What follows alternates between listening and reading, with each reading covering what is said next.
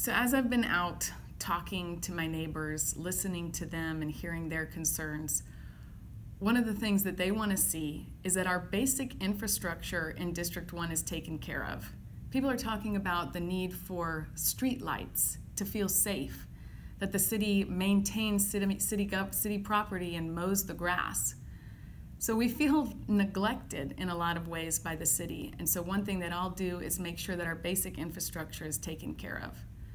Secondly, people are talking about wanting a, to feel more connected to downtown, both physically and in spirit. And my opponent and the council person before him have been talking about sidewalks. It's been eight years and nothing's been done on that. So we need a new perspective, someone who can think creatively and out of the box to make sure that we can find a safe way to connect us to downtown. And that'll probably be through our trail system, which I definitely think will improve the quality of life of District 1 residents. But then also in this process, I've met so many people across town, and as I've tried to describe to them where District 1 is, Someone said to me, I didn't know there were neighborhoods between downtown and the mall. And that to me is an example of failed leadership.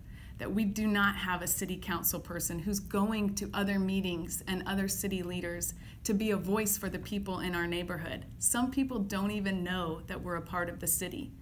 So I will make sure that I am present at other city events and conversations that are happening around education and equity and health so that our district residents are always present at these at these meetings. Three uh, projects for the, the, neighborhoods in District 1. Uh, there are many uh, neighborhoods. We have a speeding problem in South in, in the city of Spartanburg.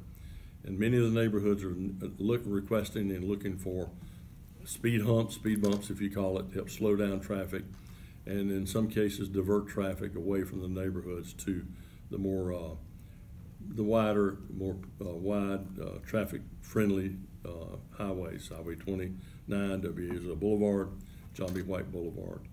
Uh, street lights are somewhere uh, something that we can approve to expand those. one of my main projects, my soapbox, if you will, has been since I was elected to enhance the walkability and on Highway 29, W.O. Ezell Boulevard from the mall area into the city of Spartanburg downtown. We actually have a committee formed with the chamber that's working to develop from the AC Hotel, uh, widen that, clean it up, uh, and develop it.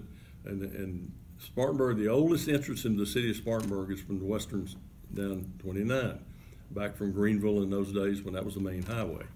It's the only entrance into Spartanburg that does not have sidewalks, at least, or some walking capacity for our residents. The people you see walking on 29 and W.O. Ezell Boulevard to and from early and late in the evenings are people who are going from work to and from and don't ride a bus and have no other way to do it. Many years ago, I used to jog and run up and down Highway 29, W.O. Ezell Boulevard. Uh, it's called Warren Abernathy Highway now, I think, my good friend Warren Abernathy. That's my probably my number one project to try to get done. It takes money, lots of money. I'm, I'm on the SPATS committee, Spartanburg Area Transportation Study Committee. I'm looking for money there. I have many friends in uh, Columbia in the legislature, and uh, they are supportive in trying to help us find the money. We're talking about millions of dollars to do it, but it needs to be done just like we had to do body cameras and we did them for our police officers.